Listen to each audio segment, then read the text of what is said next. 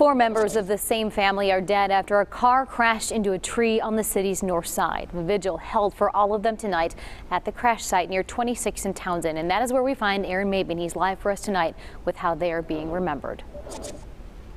Well, Amy, it was an emotional vigil, a lot of tears tonight. Dozens of people packed this sidewalk and stood next to this growing memorial here at 26 and Townsend, remembering those four family members who died and that sole survivor, a little girl who survived.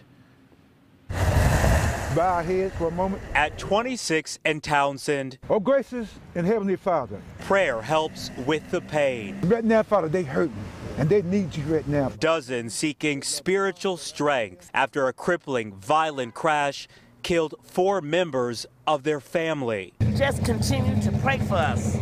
We need prayer. 29 year old Larry Williams and his fiancee, 22 year old Ayana Hill, died after the car they were in slammed into a tree. Their two young children, Yana and Larry IV, were also killed.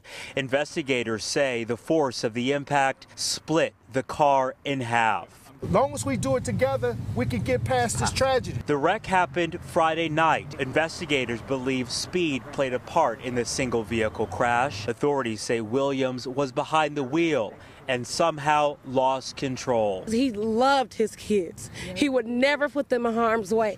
He loved them. As the pain mounts, there's a miracle a sole survivor. My one year old granddaughter, Ariana Williams, was released this evening from the hospital and is doing well. A family grateful for the love they've been shown. To the community, I thank you for the cars, for the balloons. Family members say Ariana hurt her leg. She did have uh, some stitches that she needed, but besides that, she is doing just fine, surrounded by loved ones tonight. Family members are finalizing the funeral arrangements for her four family members. We're live at 26 in Townsend tonight. Aaron Maben, Fox 6 News. A little bit of hope for that family. Thank you, Aaron.